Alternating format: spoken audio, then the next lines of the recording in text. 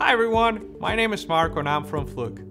Today, I want to talk to you about Fluke's first solar product, the IRR1 irradiance meter. The irradiance meter is the perfect tool to conduct comprehensive test and measurements in photovoltaic systems. It provides four key measurements all in one tool irradiance, temperature, tilt, and compass degree. Irradiation is a critical metric to consider when conducting a survey or an inspection of a solar installation. The Fluke IRR1 irradiance meter instantaneously measures solar irradiance up to 1400 watts per square meter. In addition to irradiance, solar professionals need to measure temperature of surfaces of a photovoltaic panel.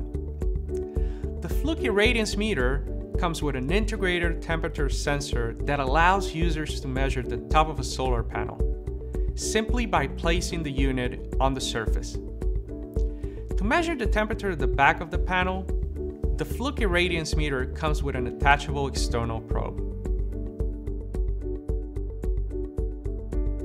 Tilt angle of a solar panel is important to maximize efficiency.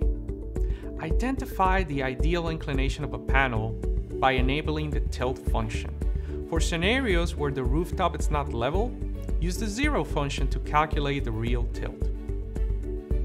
The location and direction of a panel determines the amount of irradiation absorbed. Get the direction of the panel in degrees by using the compass function on the IRR1 irradiance meter. Fluke offers multiple solutions for professionals. Complement the Fluke irradiance meter with our best-in-class portfolio of electrical test and measurement tools. To learn more about our solar solutions, please visit fluke.com. Thank you.